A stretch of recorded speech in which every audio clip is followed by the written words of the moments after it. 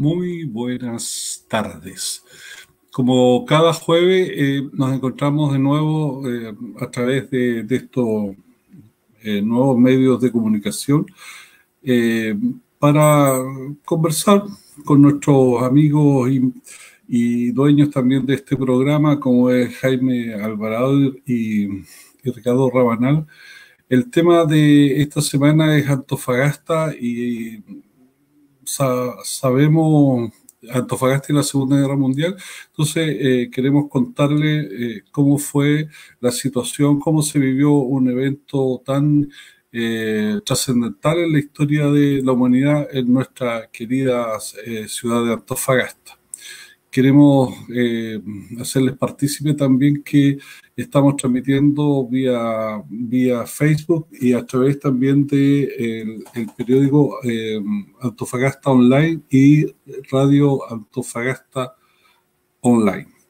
Eh, el tema, como les dije que vamos a conversar hoy, del cual nos hemos preparado para llevárselos a ustedes, tiene que ver con la Segunda Guerra Mundial y qué es lo que ocurrió durante esos terribles años en Chile y fundamentalmente en nuestra ciudad.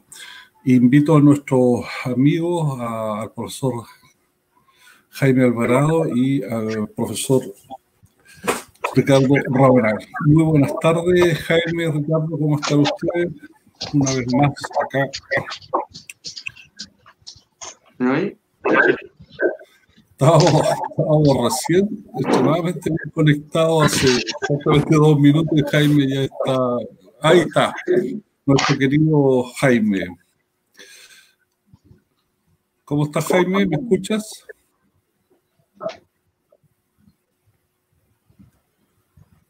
Qué extraño. Pero bueno, vamos a continuar con el programa. Eh, Ricardo, eh, Jaime, ahí apareciste, te estás moviendo.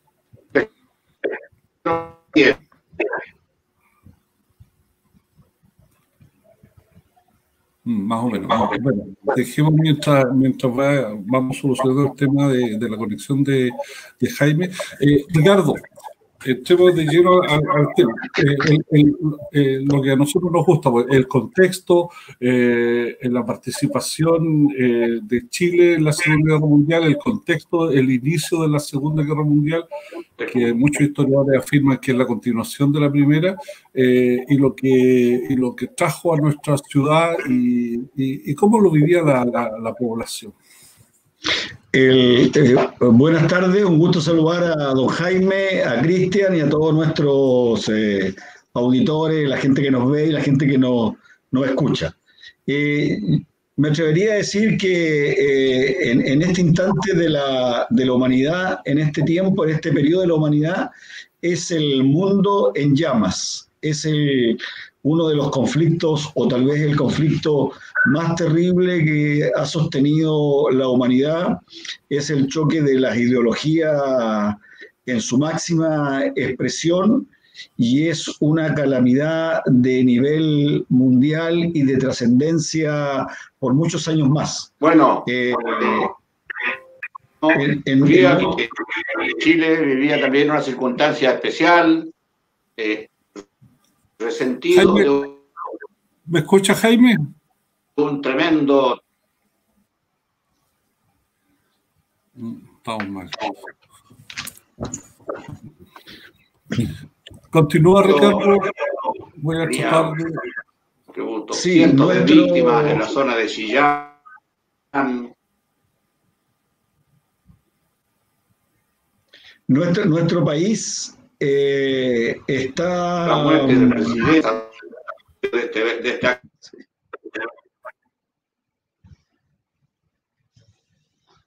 estamos con dificultades.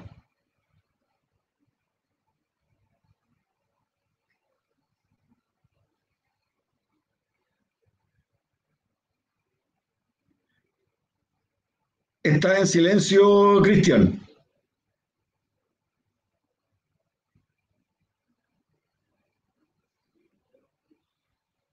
Cristian está en silencio. Ahí sí. Ahí se me había agrandado un poco la pantalla. Estamos Parece comenzando con algunos preguntas. Continúa, profesor. Bien, entonces quedamos en que el mundo está en llamas. La vieja Europa está en, uno de los conflictos más terribles que pueden haber existido en torno a la condición humana. Está este choque de ideologías, está este, este choque de tecnologías. Aparecen en, aparecen en escena estos ejércitos alemanes con lo que nosotros vamos a empezar a conocer como la, guerra relámpago, estos tanques, estos panzer, ¿no es cierto?, de Guderian, que ya no van por los caminos, por, los campos, sino que van directamente por las carreteras y hacen un cambio completamente a la, a guerra que hasta ese momento se conocía. Y en nuestro país, eh, como decía muy bien nuestro profesor Jaime, está, estamos sufriendo eh, el gran problema del terremoto de Chillán, eh, la muerte del presidente Pedro Aguirre Cerda por una, una tuberculosis que se le, se le, complica y termina con su, con su fallecimiento. Y también, por supuesto, el, el, presidente Arturo Alessandri Palma ha hecho un gobierno relativamente tranquilo, cruzado por la, por la matanza, como muy bien se, se planteó del, del, seguro obrero y una serie de cosas, y, pero por lo menos logra terminar superior. Y asume el presidente Pedro Iglesias Cerda, eh, representante del Frente Popular, con grandes cambios sociales, con grandes cambios de carácter humanista, con un, importante acento en lo que es el tema educacional, el gobernar y educar para él fue fundamental en la fundación de escuelas, en la formación de maestros y, da un salto importante también en lo que es la industrialización de, nuestro país. Y Antofagasta eh, comienza a dejar atrás la crisis salitrera, eh, por fin se van generando más eh, fuentes de, empleo, más fuentes de trabajo, también el puerto está prácticamente terminado en su primera y más primitiva obra de, sus malecones más importantes. Empiezan a llegar los barcos de, gran calaje, empiezan a, haber un importante tanto envío como recibimiento de carga. Eh, con esta llegada de los barcos también empieza a haber una, una importante vida vía nocturna, vía comercial, todo eso significa tener un, puerto en la, ciudad de esas características y de esa magnitud. Y por supuesto, eh, Antofagasta empieza a sufrir también lo, lo que podríamos decir este estiramiento de la adolescencia. Antofagasta empieza a crecer como ciudad, pero también también le empieza a faltar el alcantarillado, le empieza a faltar la luz eléctrica, le empieza a faltar el, agua potable, la pavimentación de, las calles, la buena iluminación en las calles. Entonces se empieza a crear todo un sentimiento de que Antofagasta no es retribuida como eh, contribuye al erario nacional. Eso es más o menos el, escenario. Y también en, buena parte de su gobierno, el presidente Pedro Aguirre Cerda empieza, como dicen algunos historiadores, a coquetear con el movimiento nacional socialista, con los nazis. En más de una carta trata nada menos que a Adolfo Hitler como un muy buen amigo y para algunos críticos de la época esa, esa terminología excede la conducta o, la epicolografía eh, diplomática. Y es criticado porque ya se empezaban a conocer eh, no solamente los excesos, sino lo que significó la barbarie nazi con los campos de concentración para los judíos, para los homosexuales, para los eh, políticos y para los gitanos, por supuesto. Ese es más o menos el contexto en que se empieza a vivir el año 37, 38, 39 y 40. Jaime, ¿cómo estamos?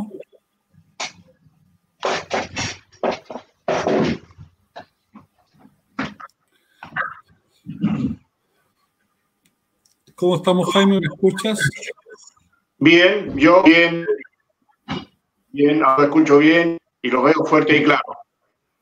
Perfecto. Como era de esperar, como era de esperar, eh, bien, bien, los escucho bien. No sé si ustedes tienen retorno. Ya. Te estamos escuchando muy cortado. Antofagasta vivió con alguna intensidad esto en la, Segunda Guerra Mundial, que como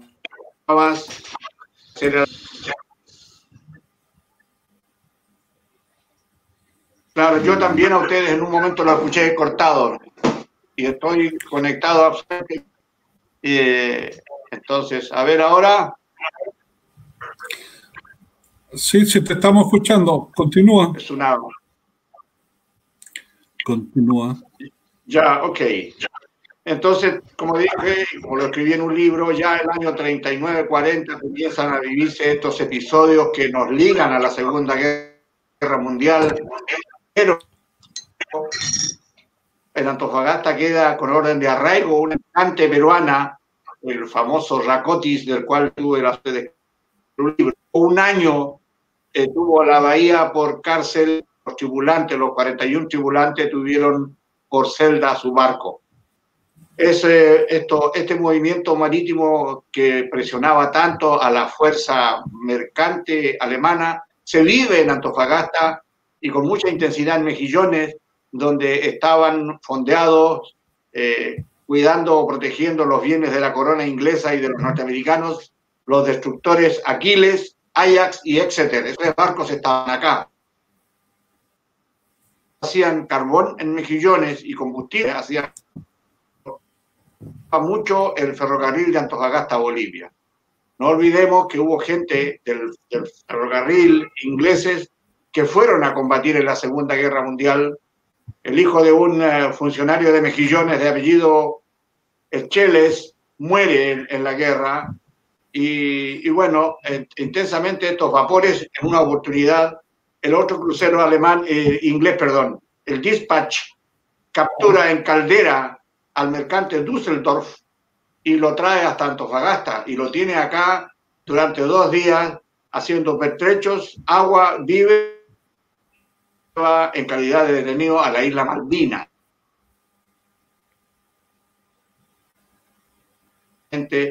Eh, esta Segunda Guerra Mundial.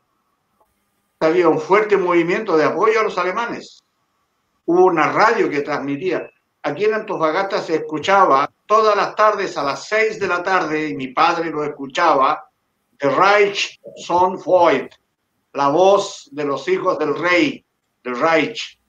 Escuchaban Alemania protectora de la ciencia y la justicia, decía.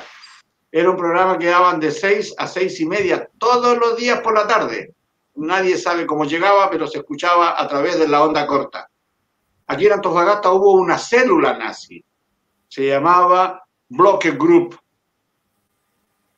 Y era Natis.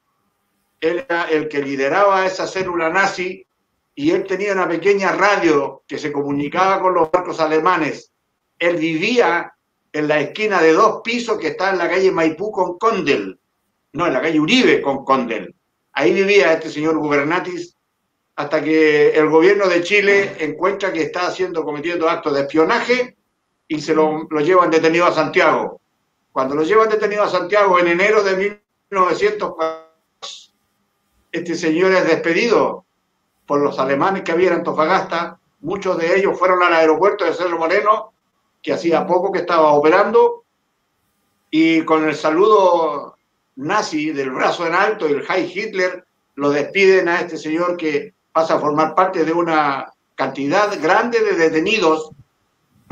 Porque Chile sabía que en Chile era una organización parecida al TAO, una organización aquí en Antofagasta, también la hubo, y está registrado, en la prensa se ve, en el diario, el diario el ABC lo consigna en una de sus páginas y el Mercurio también lo consigna en una página. De manera que, como hemos visto, se bebía intensamente aquí en Antofagasta la guerra mundial. Afectaba a los yugoslavos, no nos olvidemos, los yugoslavos fueron invadidos por los alemanes y por los italianos y ellos tenían una fuerza de, de patriotas que defendían, se dice que defendían a Yugoslavia, a los partisanos, que después se han sabido algunos otros detalles no tan decorosos de ellos. Bueno, aquí eh, yo ayer le mandé a, a, a, Patricio un aviso de defunción un señor de apellido Leontich, que era un destacado abogado aquí en Antofagasta, fue a Yugoslavia a pelear por su patria y allá eh, las hordas de Hitler lo ahorcaron. En fin, como digo, era muy intenso lo que se vivía aquí en Antofagasta eh, respecto de esta guerra mundial que, si bien es cierto, estaba muy lejos en el escenario, aquí en Chile la estábamos viviendo precisamente los, los que habían estado las colonias que estaban europeas, los griegos, los y los, eh, los eh, ingleses. Eh, Ricardo, en el, en el, en, el contexto sudamericano, fundamentalmente, en el cono sur, en la, en la, en la, habían ocurrido casi 60 años desde la Guerra del Pacífico. Eh, los, países vecinos a, qué apostaban, a qué apostaban en esta guerra, en esta guerra mundial. Eh, tenemos, por ejemplo, el Perú que le declara la guerra, que es partícipe de cierta manera, eh, no enviando soldados, pero sí enviando pertrechos, aportando caucho, aportando quinina para la guerra, y de ese, tipo de, de cosas. Pero tanto Argentina como Chile seguramente por sus tendencias más germanofilias, les cuesta más. Pero ¿a qué apostaba cada país? ¿Cuál es tu opinión al respecto? ¿A qué apostaban, por ejemplo, Perú, Argentina con esta guerra? Bueno, hay, hay una serie de, de, correspondencia y de crónicas de la época y de, de discursos de distintos senadores y distintos diputados que estaban recibiendo presión, en este caso de los Estados Unidos, para a lo menos lograr una, ser neutrales en este conflicto. O sea, Estados Unidos empieza a, presionar al continente americano para, lograr esta neutralidad o por lo menos un pronunciamiento contra, la, contra, los, contra los países del, del eje. Pero efectivamente, como tú dices, eh, nuestro país específicamente y gran parte de la, de la, Argentina comienzan también a hacer muy buenos negocios. Eh, Argentina, sobre todo con todo el tema del, de la producción de trigo, con toda la producción alimenticia que significó alimentar al, a los países en, en, conflicto y todo, lo, la, todo el aparataje y toda la situación estratégica que tenía nuestro país con la producción de salitre y con la producción fundamentalmente de, de cobre, porque para esa época ya Chuquicamata era uno de los productores importantes de cobre en nuestro país y estaba en manos de, de capitales norteamericanos. Y por lo tanto existía una, una, una, una, visión de cuidar mucho estos capitales norteamericanos y cuidar mucho la producción eh, cuprífera de Chuquicamata, porque estaba toda destinada a lo, a lo que nosotros consideramos como pertrechos de, de guerra para, para, la confección de las balas y todo lo que significaba el, el aparataje eh, militar. Pero nos encontramos con, cuando nosotros hablamos de, lo, de, los personajes históricos, nos encontramos con estas luces y sombras de, de nuestros líderes. Y, y, en este caso aparece esta, así como, como, como su sentido humanitario, su sentido eh, de, una educación pública, de mejorar la calidad de la vida de la gente y ser representante de este Frente Popular de don Pedro Aguirre Cerda y ser muy querido por la ciudadanía, aparece esta vena eh, pro, pro nacional socialista o específicamente eh, nazi, y que se revela en varios, varios acontecimientos y varios, varios hechos que no dejan, eh, o sea, que dejan mucho, una, una, impresión muy importante en la clase política nacional, como es también que él hace un perdonazo a este señor Jorge González Bon Nasser, creo que no, que es el, representante de los alemanes, de los nazis eh, nacionales, que había intentado un golpe eh, de Estado en el, en el, en el gobierno del, del presidente eh, Arturo, Alessandri, Arturo Alessandri Palma. Y también esta, esta, esta, esta, esta presión norteamericana, eh, primero se reúnen los cancilleres latinoamericanos en 1940 en La Habana y sacan una, una primera, una primera resolución eh, llamándose países no beligerantes. O sea, toman una, una, una especie de neutralidad en, en, esta guerra del año 40. pero, pero con el bombardeo de, Japón a Pearl Harbor el 7 de diciembre del año 41, se ven obligados eh, todos los países latinoamericanos a generar una carta solidaria hacia los Estados Unidos y una posición solidaria que termina con, eh, con una declaración el año 42 de, una, de, colocarse en una situación de apresto y de entregarle todo el, el, aparato solidario a los Estados Unidos por lo que se consideraba en ese momento una, un ataque vil y poco, poco honorífico a las reglas de la, de la guerra por parte de Japón a los Estados Unidos. No se olviden que contará la historia que eh, produció el ataque de, a Pearl Harbor eh, la declaración de guerra creo que llega 12 o 14 minutos a la Casa Blanca posterior después del ataque. Por lo tanto, fue en, estricto rigor, fue un ataque sin, eh, sin, previo, sin previa declaración de guerra, como, como lo declara en su momento el presidente Roosevelt, una fecha que vivirá en la, en la ¿no? Eh, eso, estimado Cristian. Jaime,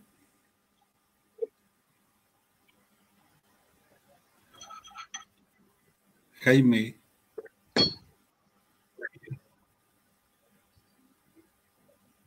Ya. Eh, eh, en comparación. En comparación rompe la relación con los países del eje. Chile. Sí, nosotros. Sí. Nosotros. Volviendo a para lo que Mm, parece que volvimos al inicio de los inicios con las conexiones. ¿Me escucha Jaime? No escucha. Eh, en el caso de, de, Argentina. Volviendo, eh, a, una, volviendo a, la, a, lo que se. Que, escucho fuerte, fuerte y claro. Nosotros no te escuchamos ni fuerte ni claro. Muchas gracias.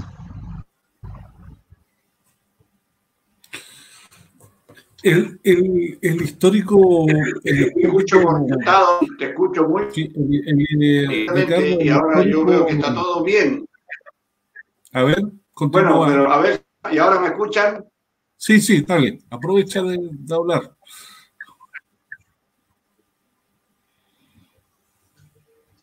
No, estamos. Mucho problema. El, el, hermano pueblo argentino, Ricardo, tiene una, una actitud eh, bastante más diferente. Ahí me imagino que don Carlos Larraín está escuchando. Eh, el, ellos, ellos, tienen, ellos mandan incluso a su, a su canciller a Alemania y, reciben promesas directas de, no, sé si de su canciller o de Hitler, de von Ribbentrop, de eh, intensificar evidentemente eh, la ayuda económica y ayudarlos a recuperar las Malvinas. Por lo tanto, la, la acción de ellos es bastante más, más, más, abierta y más, y más, debido también a su emigración, a la gran cantidad de, de hijos de Alemania y de Italia que viven en su país ellos les faltó muy poco para tomar abiertamente partido por el Tercer Reich. Bajo estas esta premisas, eh, eh, tiene que haber sido bastante complicado el tema de las relaciones internacionales en el cono sur, teniendo, tomando en cuenta que Perú ya había decidido eh, jugarse todas sus su fichas por Estados Unidos. Chile estaba dudativo, estaba mirando al mejor, al mejor armado y cómo se iban a ir desarrollando los hechos. En cambio, Argentina no, Argentina toma una actitud bastante más, más problemana, ¿no? Bueno, eh, Argentina está con el, con el gobierno de don Juan Domingo Perón. Y don Juan Domingo Perón siempre viene de, obviamente su cuna es una cuna militar y eh, jamás negó su simpatía con, el, con los regímenes eh, nacional socialista. Y además también él, a través de, ese gobierno y del desembarco de una serie de submarinos alemanes posterior a la guerra, es que le, brinda asilo a varios nazis arrancados, digamos, de, la Segunda Guerra Mundial. Eso, eh, tanto, tanto este eje de Argentina y Paraguay y, y, la parte sur de, Brasil generan este, este eje de, recibimiento de los distintos jerarcas alemanes o, oficiales de, una, de, un segundo, un tercer grado, eh, que se vienen a refugiar a, a, la Argentina, al sur de Brasil y al centro de Paraguay. No nos olvidemos que eh, el año, aproximadamente los, años 60, he capturado en Argentina Eichmann, eh, trabajando en una fábrica de la Mercedes-Benz, me parece, o, de la Volkswagen alemana, estaba trabajando ahí y es capturado por, eh, por agentes del, del de, Israel, eh, del, Mossad, exactamente. Y, creo que, eh, pero igual, tanto todos los países latinoamericanos, por lo menos del cono sur, tuvieron una, una posición más bien expectante, no, no declararon inmediatamente, si bien existía simpatía por el régimen alemán, eh, pero tampoco hubo así como un delirio o un sentido de que de, eh, se fueran más expectantes. Y, y, la ciudad, perdón, y, nuestro país baja considerablemente las revoluciones a la muerte de don Pedro y Cerda y cuando asume don, don Juan Antonio Ríos y finalmente él declara ya posiciones a favor de los Estados Unidos eh, en distintas, porque, porque permite, como dice muy bien don Carlos, esta producción industrial se vaya netamente a la maquinaria de guerra norteamericana y a través de ello a los aliados. Eh, eh, viene todo el proceso de la, de la producción de carbón, la siderúrgica de Huachipato y la producción de, como hablamos muy bien, la producción de cobre de, de en este caso de, de Chuquicamata, van a ir generando toda una, una, política pro-norteamericana eh, de los Estados Unidos. Y ahí se empieza un poco a diluir lo, lo que es la, el, el, gran, eh, no sé el gran, pero la, la, la, influencia alemana que pudiera haber tenido con respecto al régimen nazi y además también se empiezan a conocer en nuestro país eh, los horrores de los campos de concentración y no nos olvidemos que que hay, hay, un escándalo que se produce en el gobierno del presidente Pedro Aguirre Cerda, que es cuando efectivamente eh, el, nuestro bate Pablo Neruda permite a través del WINIVER la llegada de los de los eh, españoles emigrantes que empiezan a contar lo que significaba el, el fascismo en, en, la vieja Europa y también empiezan a llegar algunos eh, refugiados judíos a nuestro país en, menor cantidad, pero se descubre que el ministro del Interior de don Pedro Cerda, para agilizar los trámites, eh, cobraba ciertas comisiones. Y eso es un escándalo de carácter nacional y que termina precisamente con la renuncia de este, de este ministro y le hace mucha media al, gobierno de don Pedro Cerda. Eh, y bueno, y ahí empieza un poco a diluirse todo lo que es el, nazismo y obviamente después con la, con la derrota propiamente tal de, de, los países del eje y la gran eh, preponderancia de, de, este gran ganador que aparece en la Segunda Guerra Mundial, que son el, Norteamérica, eh, se empieza a tomar un cauce con respecto a ese rumbo. Jaime, ¿cómo estás? ¿Se conecta o no? Ahora, ¿cómo me escuchan ahora? Bien. ¿Cómo me escuchan ahora? Eh? Bien. ¿Ahora me escuchan bien? Ya. Mira, en realidad yo quiero volver a esto de Antofagasta, centrémonos acá. Antofagasta tenía eh, en Chuquicamata, Chile Exploration Company, su ciudad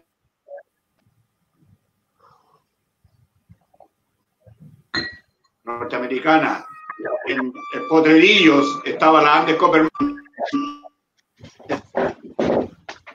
Copper Company, también subsidiaria de la misma gran empresa que manejaba el cobre en Sudamérica. que nosotros éramos proveedores de cobre para los aliados, absolutamente para los aliados. Entonces había una actitud bastante pro-americanista, ayudando a los yanquis, ayudando a ellos. Lo otro que afirmaba el colega Rabanal por el norte en esta Segunda Guerra Mundial como consecuencia de esta producción, de esta eh, ese manganeso.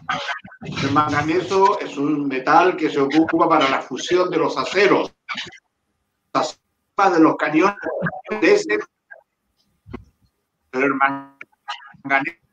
El precio a los chilenos, sobre todo la del norte.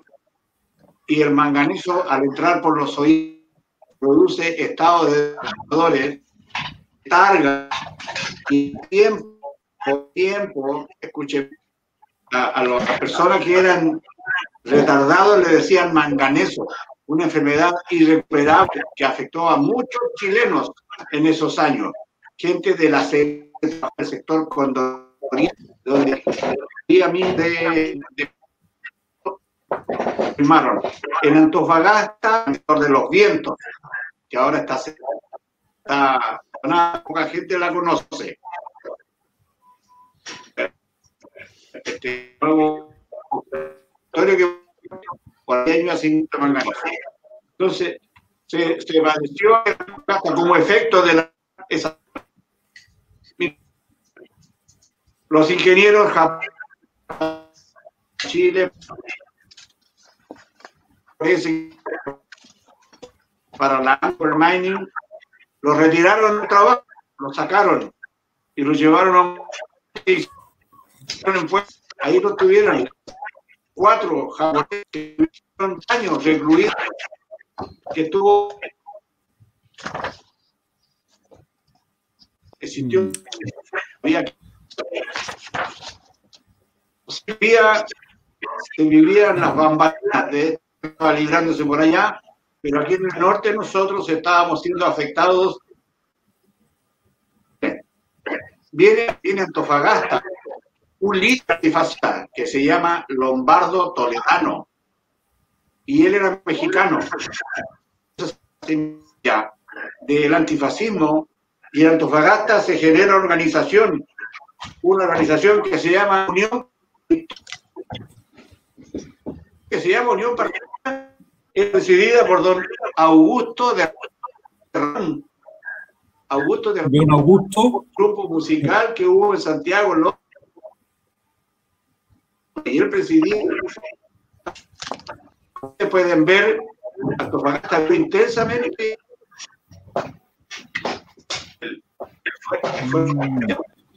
Es, realmente una lástima que no podamos escuchar la historia, ¿no? que a mí siempre me interesa lo que es la parte de la cotidianidad. Y esa, eh, Ricardo, estás al eh, cómo fue afectada la, porque don, Carlos Larraín ahí eh, cuenta que su padre le, relató, por ejemplo, que sí se produjo desabastecimiento en la ciudad, sí hubo cambios, ¿no? Eh, en, la vida en la vida de nosotros de, de, los antofagastinos Antofagasta. bueno, Antofagasta, seguramente los rigores de la guerra tuvieron que haber afectado a la, ciudad de Antofagasta, pero principalmente eh, Antofagasta tenía, tres, tres, grandes problemas. El primer problema era el tema de la energía eléctrica.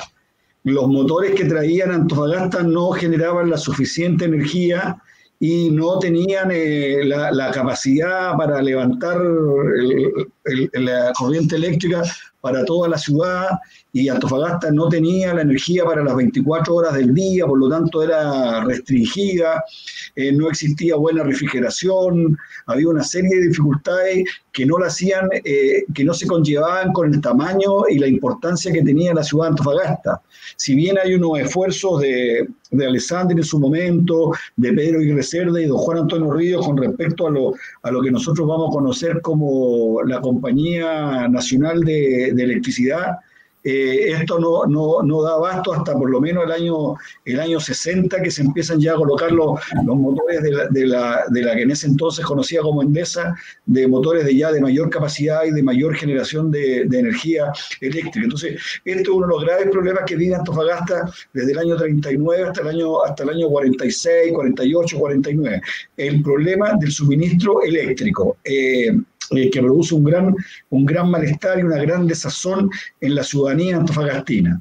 El segundo gran, gran problema de, de, esa época y que ha sido el problema de toda la vida de la ciudad de Antofagasta es el agua. Cómo transportaban agua para la gran cantidad y el gran crecimiento poblacional que tenía la ciudad.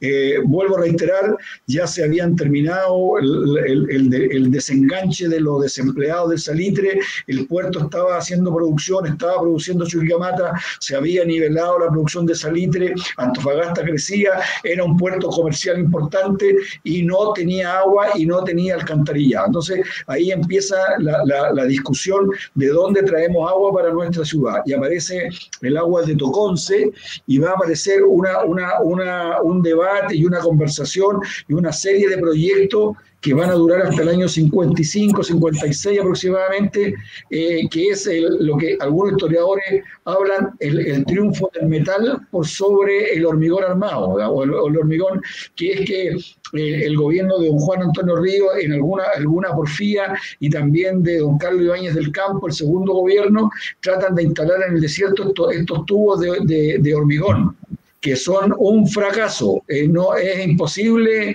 que estos tubos funcionen porque no encontraban la forma de unirlo, eh, eh, filtraban, se quebraban, y entonces Antofagasta seguía con este, este de, esta, de, falta de agua y la falta de energía eléctrica y la falta de, alimentación, porque el cabotaje en ese momento no era lo mejor y todavía estaba por venir la, lo que nosotros vamos a conocer después, a, fines de los 50, eh, como la, la Panamericana, ¿eh?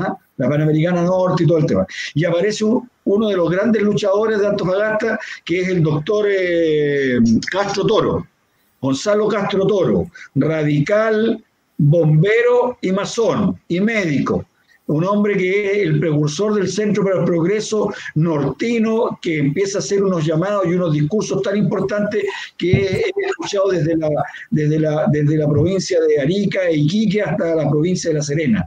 Un hombre que empieza a hablar por primera vez en forma muy potente de regionalismo y en su escrito, en su inspiración como, como regidor en ese momento, se empieza a basar nada menos que don Andrés Sabela, que don José Papis y todos los grandes personeros que van a generar después desde el, desde el 48, 50 hasta el, hasta el 60, que es el, el Centro para el Progreso de la, de la ciudad de Antofagasta. Jaimito.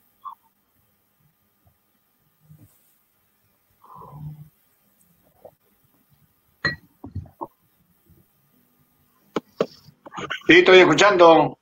Ahora sí. Se te escucha bastante estoy bien. Estoy escuchando. Sí.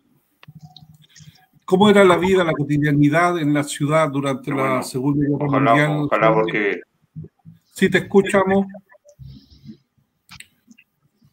Mira, como te digo, ya, como lo dije recién, como lo afirmé recién, eh, en realidad eh, aquí las bambalinas de, de, la guerra se vivieron intensamente en Antofagasta. Yo conté recién, lamento que la gente no escuche, porque el esfuerzo detrás de todo esto nuestro, oye, eh, eh, conté lo que con los mineros que aportaban su, su esfuerzo y para tener el, el, el, manganeso con el Gulf, los barcos, estos Liberty que pasaban por Antofagasta. En el puerto de Antofagasta había un iría a llevar el cobre, embarcaba aquí en Antofagasta y en, en barquito se llevaban el cobre para Estados Unidos lo descargaban en San Francisco. Y toda la gente, como te digo, la, la, la, industria estaba protegida por un equipo de Rangers, enseñarle a nuestros soldados y a nuestros carabineros y a nuestra policía para que protegieran los bienes, los puentes, las líneas férreas, porque se temían las fuerzas alemanas o, o, o los nazis, por ejemplo, o los nacionalsocialistas, hicieran alguna actividad de sabotaje para impedir que este, este de insumo llegara a los Estados Unidos. Entender, lo conté que no lo hayan, pero eh, los funcionarios, los ingenieros japoneses que estaban trabajando en Brillos y en Chuquicamata, fue un que montaron ahí en el, pueblo hundido. Hay cuatro funcionarios. La generación Nisei, hasta más, que son los que nos regalaron el mes, había un señor que era, había sido víctima de esa situación, pertenecía a, a, este grupo de ingenieros que fueron, eh, que fueron, como te digo, exiliados, arrinconados, tomados presos y encerrados en un gueto aquí en Chile durante dos años estuvieron ellos. Eh, como te digo, aquí en Antofagasta, la ciudad se vivió, vivió, se formó una agrupación que se llamó Unión para la Victoria, que era presidida por don Augusto de Ramón. Lo dije recién, era el padre de estos cantantes folcloristas que hay en Santiago, los de Ramón. Eh, yo creo que nos fuimos, nosotros fuimos, no, nos tuvimos en la galería prácticamente de la Segunda Guerra Mundial, porque se vivió intensamente. Los yugoslavos acá hacían kermes para ayudar a los partisanos que se oponían a, eh, la invasión que estaban sufriendo en Alemania, de parte de los alemanes. Eh, Lo mismo ocurrió con los griegos. Los griegos también aquí se reunieron y formaron una agrupación para ir en ayuda de sus compañeros. De manera que, como insisto, nosotros no estuvimos en el escenario, pero estuvimos muy cerca porque fuimos los que en Antofagasta se vivió muy intensamente la Segunda Guerra Mundial, muy intensamente, desde una mirada un poco más distante, pero, pero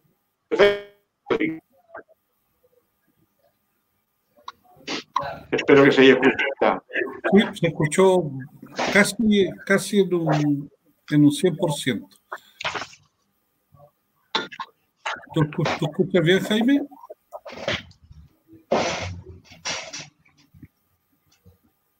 Sí, ahora sí escucho bien.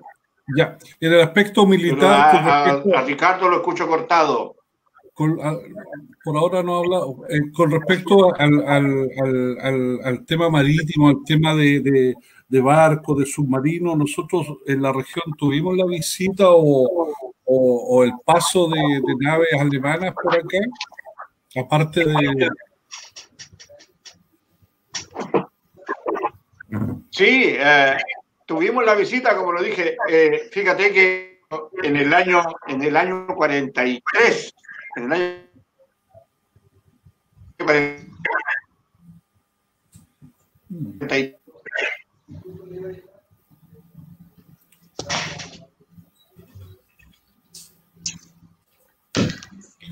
Vamos una vez más.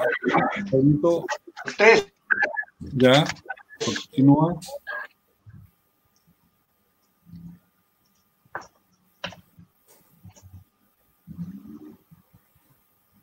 Eh, Chile recibe un tiro. Entre comillas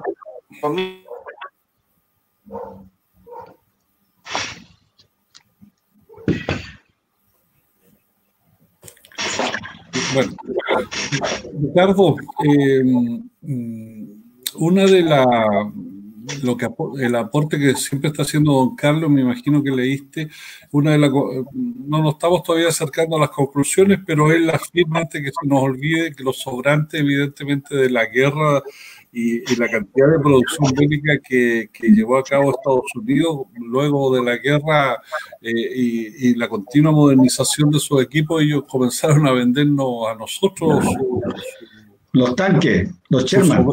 Los Sherman, ¿no? Sus sobrantes. el maravilloso tanque ese. Eh, bueno, estamos en, Antofagasta, eh, habíamos hablado de la crisis del, agua, de la energía eléctrica, la, crisis del desabastecimiento alimenticio, eh, no funcionaba con la rapidez que tenía que funcionar el, cabotaje, hacía, eh, de repente los barcos no venían con la periodicidad que tenían que venir y se producía estos desabastecimientos terribles en la, población. Entonces ahí se empieza a generar este, este malestar, este sentido de, entenderse como una ciudad abandonada por el Estado central de nuestro país. Y, eh, y después en, en, el año 40 y 45, 46, fracasa otro proyecto que es el, tren eh, a donde se pretendía traer los alimentos vegetales y alimentos eh, ganados en pie eh, desde Salta, Argentina, para el abastecimiento de la ciudad es bloqueado por los capitales centrales con respecto a la que tienen que ver con la agricultura y con la ganadería de nuestro país. Entonces este tren simplemente eh, no, no, funciona como, todo, como todos los antofagastinos esperaban que, que funcionara.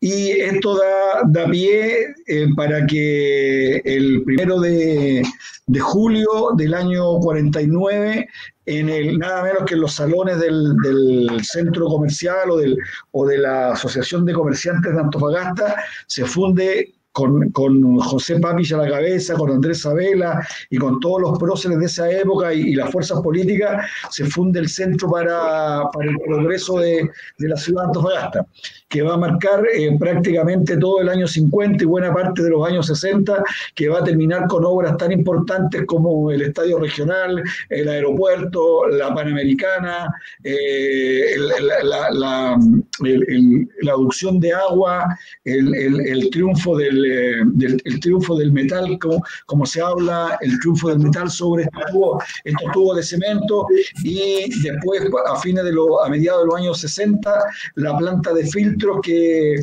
empezó a, digamos, cuando se, se empezó a producir el problema del, de, a detectar el arsénico del agua que era traída desde la, desde la cordillera y la, y la precordillera.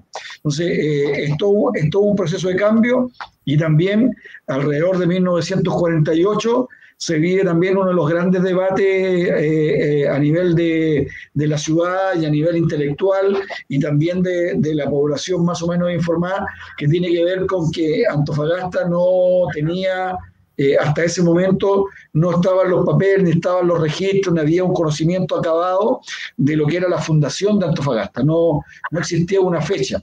Y por lo tanto, eh, lo que buscaba este Centro para el Progreso y lo que buscaban todos estos antofagastinos era, eh, era que, que el pueblo antofagastino pudiera vivir así como vivía su nacionalidad, su patriotismo, también tuviera un sentido de arraigo con lo que el alcalde Carmona en su momento llamó la patria chica, ¿no?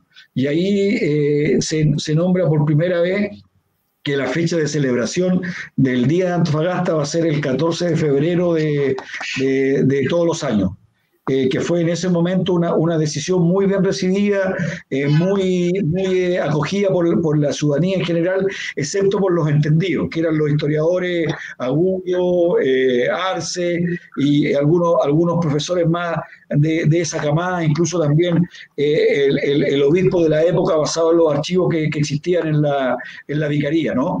Pero en general he asumido y sirve bastante, por un periodo bastante largo, como para unificar el pueblo y sentirse netamente nacionales y patrióticos, pero después con los años no, no, nos vamos a, empiezan a aparecer nuevos documentos, tanto del poblamiento de Antofagasta, la, la gesta heroica de Juan López, de su familia, y también, por supuesto, eh, todo lo que... Eh, eh, la correcta anexión de Antofagasta por parte del coronel Emilio Sotomayor Baeza, empiezan a aparecer todos estos antecedentes ya con lujo de detalle y además empiezan a aparecer los antecedentes de la fundación de Antofagasta. Y el mismo, el mismo Sabela que a partir del año 1979-1980 empieza a llamar a los historiadores a, si bien que teníamos que celebrar la anexión de Antofagasta al territorio nacional, también teníamos que buscar la fecha del, del, del de la fundación de Antofagasta que según todos los historiadores y según todos los antecedentes que tenemos hoy día, es el 22 de octubre del año 1868. Todo este proceso se vive en ese momento. ¿Cómo estás, Jaime? Bien, oye, mira, eh, sí, tendría que agregar, yo viví, yo viví eh, esto de lo que habla Ricardo, de los tubos centrifugado del enorme fracaso que, que, se, que tuvo ese proyecto de, de cemento que a alguien se le ocurrió hacer y que no soportó en las, en las coplas, en los flanches, en los lugares de acoplamiento. Eh, mi padre testigo son una de las pruebas que se hizo en la estación Cuevitas, la estación Cuevita que está 15 kilómetros de y lanzaron el agua, en el agua le metieron presión y parecía una regadera.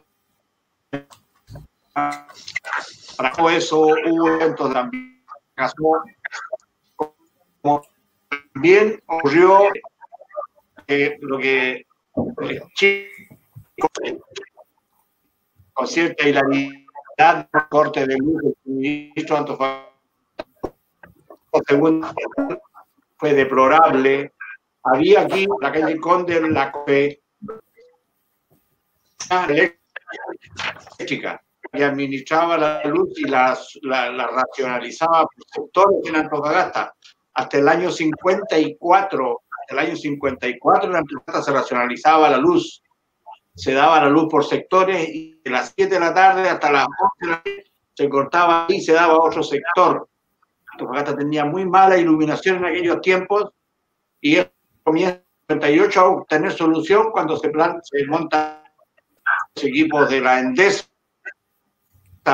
que están ahí detrás de donde está, ahí está generado. Se hace el traer agua desde que nos trajo arsénico a los antofagastinos. Se monta una planta que bueno, una minuta en este momento.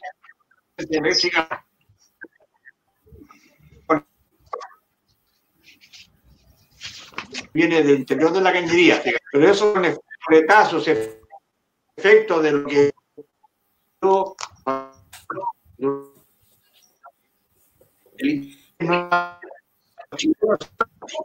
en el escenario de la guerra que se estaba viviendo Eh, no te estamos escuchando nada, Jaime. La primera carrera de Rolanca de su vida, Rolanca, festejar la de Antofagasta, la de febrero. Celebrar la, los diarios así. Una gran prueba y una gran cantidad de regatas.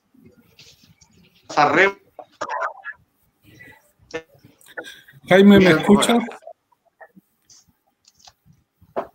Jaime, que no, no, no, hemos logrado escucharte hace como más o menos un minuto atrás. Yo voy a, continuar en honor un poco al tiempo. Eh, Ricardo, eh, ¿cómo se gestaba la... Sí, te escucho bien. Sí, pero ya, me pasé. Ricardo, ¿cómo se gestaba la vida política? ¿Qué es lo que estaba ocurriendo con los partidos políticos, los partidos de derecha, los, el Partido Comunista, el Partido Socialista, eh, el Partido Demócrata? ¿Qué es lo que ocurría políticamente en la, en la región, en la ciudad? Nacía la, nacía la, la, Falange y la democracia cristiana habían logrado por primera vez eh, dos regidores. Uno era nada menos que eh, don Juan de Dios Carmona. Obviamente el, el, municipio estaba dominado, estaba dominado por el, por el Partido Radical por el Partido Comunista y por eh, algunos, integrantes también del Partido Socialista. Esas eran las fuerzas políticas que se disputaban en el municipio de, la ciudad de Antofagasta. Eh, existía una gran eh, vida política, un gran debate político y para, para el gobierno de ah, se me olvidó el nombre presidente, eh, se produce lo que eh, la ley maldita termina, termina digamos, eh, dejando fuera. ¿Perdón? González Videla. González Videla, exactamente. Termina, termina dejando fuera de la vida política al Partido Comunista y con, él, y con ello el año 48 la municipalidad de Antofagasta pierde a su alcalde y a dos regidores más. y eso ahí se da eh, la posibilidad de, este debate que tiene que ver también con el, con el, con el 14 de febrero y todo lo que significó la marginalidad, la, marginación, perdón, de, la vida política del, Partido Comunista, en, por lo menos en, el aparataje comunal de, la ciudad. Eso es lo que se vivía intensamente, había un, gran debate, pero todas las fuerzas políticas estaban cruzadas necesariamente por el tema de la postergación de la, de la ciudad de Antofagasta. Se llegaron a situaciones tan tan extrema, digamos, de, tratar de conectar lo que llamaron el cigüeñal del, del buque O'Higgins de la Armada Nacional a un motor eléctrico, cosa de poderle entregarle electricidad a la ciudad durante las horas del día. Situación que eh, que fracasó rotundamente. Eso se vivió a partir de aproximadamente el año 42, 41, 42 en, la ciudad. O sea, Antofagasta vivía una crisis de, proporciones enormes en, cuanto a lo que habíamos, habíamos conversado originalmente. En la vida, en la vida, en la vida bomberil, porque quiero pasar mi dato bomberil, estimado, eh, Antofagasta había crecido con, con, edificios de altura. Habían ya se habían, se habían generado algunos edificios de altura, como la, como la Casa Jiménez, la Casa Kip y otros otro edificios de esa época, del año 40, y por lo tanto el cuerpo bombero necesitaba un carro telescópico. Y es ahí que los integrantes de la segunda compañía, encabezados por su capitán el señor Cabañola, eh, empiezan a proyectar la traída del primer carro telescópico a la gran zona norte y el tercer carro telescópico que, llega a nuestro país, que es el carro Pierce eh, traído directamente de Estados Unidos el año 50 y que llega a Chile el año 51, pero cuyo proceso de cambio, de, de, compra, comenzó el año 46 con una altura de 18 a 19 metros la escala telescópica, lo que lo convertía en un campeón eh, para la ciudad de Antofagasta en ese momento. Tenía, eh, hoy día ese carro restaurado completamente y se pasea como el campeón de, los, años, de los años 50 en, nuestra querida ciudad y tengo el honor yo de, conducirlo en los detalles del tema. Y la cuarta compañía traía nada menos que una joya tecnológica para la época, un carro americano Fargo con 500 galones de, por minuto de, desplazamiento de agua, que lo convertía en uno de los carros más modernos de, de, nuestro, de nuestro país. Entonces fue, fue la época en que el cuerpo bombero Antofagasta tuvo la escala telescópica más moderna de nuestro país y el carro de, agua con mayor modernidad y mayor desplazamiento de agua de la época. Así que estábamos en ese momento en top de top de los cuerpos bomberos del continente americano y de nuestro país. Jaime.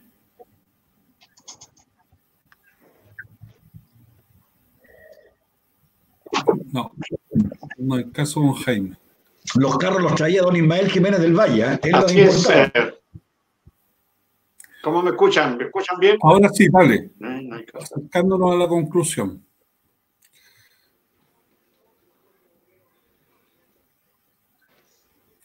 Ahora sale. Ahora sí. Habla. Sí, sí. Mira, simpático lo que cuenta el colega Rabanal, porque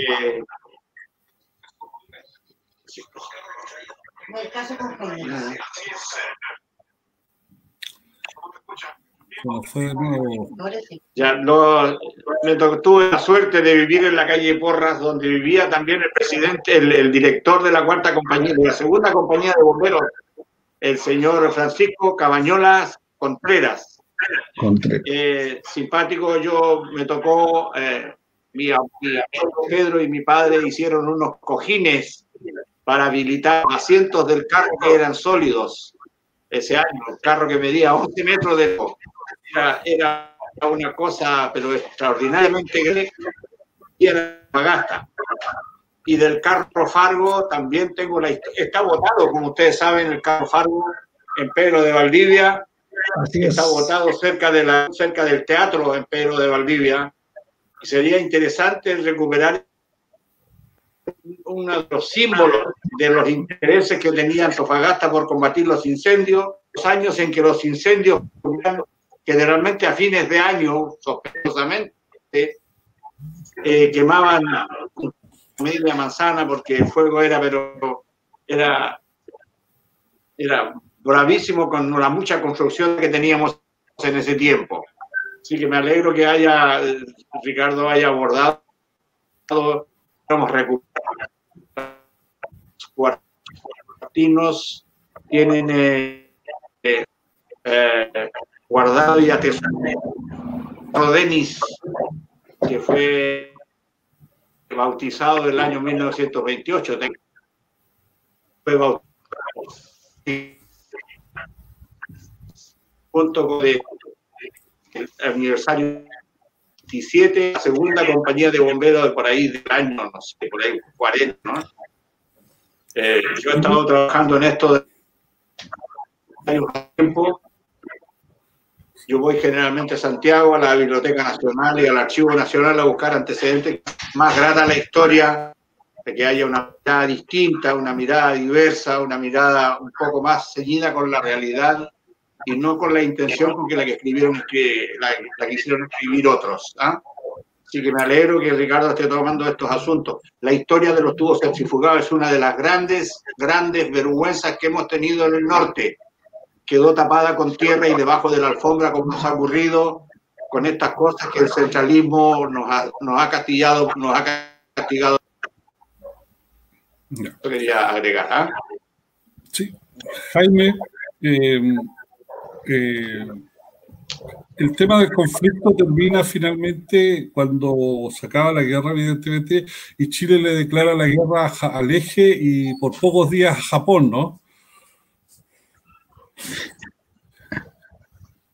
El 12 de abril del 45. Ya.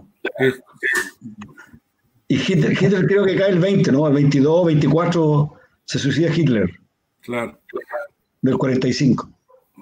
O sea, ya estábamos, ya estábamos ah, acabados. La, Se estaban disputando Berlín eh, los aliados con los rusos. Y en agosto. ¿Quién llegaba, al búnker primero? Y en, agosto se lanza la bomba atómica y se lleva a cabo el, final ya del Japón, ¿no? El 6, de agosto y el eh, Hiroshima y el 8 Nagasaki. Ah, así mismo. Ya. Y la, Ricardo Jaime, las lecciones que dejó esta guerra. Así es. Este, y el 8 de agosto. Las lecciones que deja la guerra, el, lo que pudimos no aprender. Eh, y se acaba, se cae y cae. Nunca es tarde, ¿no? Para, para seguir eh, sacando lecciones de la historia y de un conflicto además tan, tan duro y tan, tan, eh, tan sangriento como, como, como decías tú en, en, un inicio, ¿no es cierto, Ricardo? Entonces, ¿cuáles son las lecciones que nosotros aprendimos? Porque finalmente, acabado el conflicto, empieza lo que se llama después la, la, la Guerra Fría que tuvo el mundo en ascuas durante muchos años, ¿no? Sí, bueno, eh, después, de la, después de los juicios de Nuremberg aparece la, las Naciones Unidas y, se, se, instala la Carta Fundamental de los Derechos Humanos eh, en las Naciones Unidas y el mundo queda dividido en, en, estas dos superpotencias, ¿no es cierto? Eh, y, empieza este periodo que nosotros vamos a conocer como, como la Guerra Fría entre, el, mundo, de, el, gran poder que adquiere la Unión Soviética y todo el mundo controlado por el, por el en este caso por, por Estados Unidos, por, por el, Norteamérica. Eh, aquí donde se empiezan a, generar estos dos, desaparece, por lo menos como expresión nacional, el, el nacionalsocialismo, el nazismo, y aparece como una ideología prohibida, por lo menos en, en, la Alemania dividida después, a partir del 60, con el, con el muro de Berlín. Esa es un, un, poco la, la, lección. Y la lección es que, bueno, hay varias lecciones. Primero que para algunos historiadores el gran causante de la Segunda Guerra Mundial eh, es, el, el, es la, el, pacto que se desarrolla o, o, las cláusulas de rendición, ¿no es cierto?, que se hacen en Versalles contra contra la Alemania tremendamente castigada a, extremos, digamos, que producen un sentido de revanchismo absoluto del, del, pueblo alemán y que se expresa posteriormente en la, en la Segunda Guerra Mundial, ¿no? Y que uno de, de las primeras acciones que realiza el Führer al, al, invadir Francia es hacer capitular a Francia en el mismo vagón que capituló a Alemania en la Primera Guerra Mundial y después de ese proceso ordena dinamitar el, balón, el, el, vagón. Esa sola acción demuestra eh, todo el dolor que, que, se producía en la, en, que había producido este, esta rendición incondicional de, de Alemania con respecto a la, a la, Primera Guerra Mundial. Y obviamente eh, eh, eh, aparece en escena lo que son las armas nucleares, todo, lo que significó la decisión del, uso de, esta bomba atómica en Hiroshima y en Nagasaki por parte del presidente, después de Rubens vino ah, el, el, que tomó la decisión, ¿no? el presidente norteamericano Truman. Truman, Harry Truman.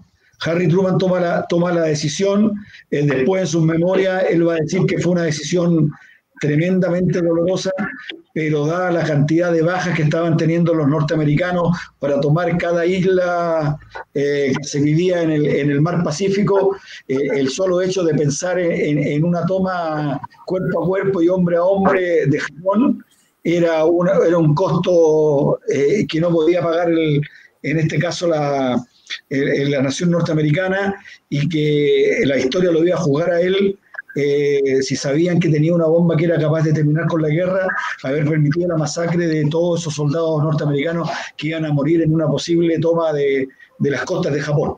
Entonces ahí también hay una, hay una especie de, de, entrega histórica, digamos, de lo que él tuvo que tomar esa, esa terrible decisión que significó 60.000 muertos en la primera y 80.000 muertos en la, en la segunda de, una, de una sola vez. Eso. Y Antofagasta comienza con su Centro para el Progreso y comienza el, periodo de grandes luchas sociales como ciudad, que no hemos vuelto a tener desde esa época. La unificación de las fuerzas políticas para luchar como ciudad por, por los adelantos que tienen que venir y que, y que nos merecemos. Y que nos merecemos. Jaime, eh, ya. Eh, vamos a dar por finalizado el programa. Les voy a pedir a Ricardo y a Jaime que esperemos un poquito que Patricio y de la producción quieran hablar con nosotros. Eh, darle las gracias a don Carlos, a la gente que ha participado con su aporte, con sus preguntas y esperamos verlos la próxima semana. Que estén muy bien, eh, muy buenas tardes. Patricio, estamos a tu disposición. Gracias, don Carlos, y gracias a todos que participaron. A don Luis también.